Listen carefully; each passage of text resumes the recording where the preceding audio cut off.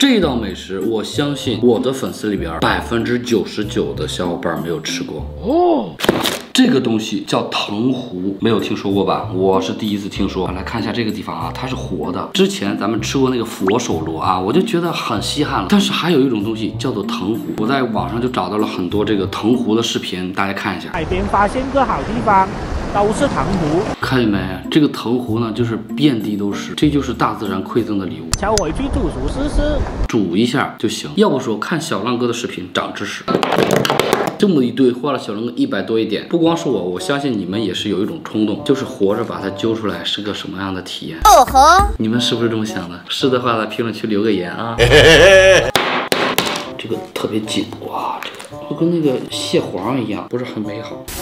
洗好以后啊，看样子还挺好看，红红的，跟刚才比啊，真是天壤之别。下锅煮八分钟，煮熟以后，它就由红色变成了紫色。小狼哥呢，就帮大家先尝一下藤壶怎么样？我看看，哎呦，这个味道很熟悉，有一种感觉，这个这个像什么来着？尝一下。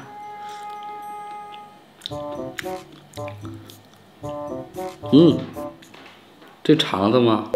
这个肉还是不错的啊。这个你们尝一下，怎么样？很鲜。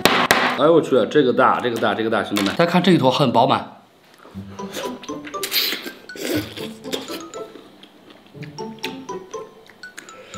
这个根本就不用放盐，有点咸，大海的味道。这个也很肥，这个东西很神奇，黄色的地方呢就很软，稀不溜丢的。然后这个是肉，吃起来就像龙虾的肉一样。这个应该是膏，嗯。嗯，这个地方应该是它的嘴巴或者什么东西啊，就是找食物用的。这个应该是个囊啊，它的胃应该是啊，我这猜的。这些地方一般是不能吃的，然后我们去掉它。我猜的，咯吱咯吱。这像不像我们的脚？这个也肥。嗯，这香。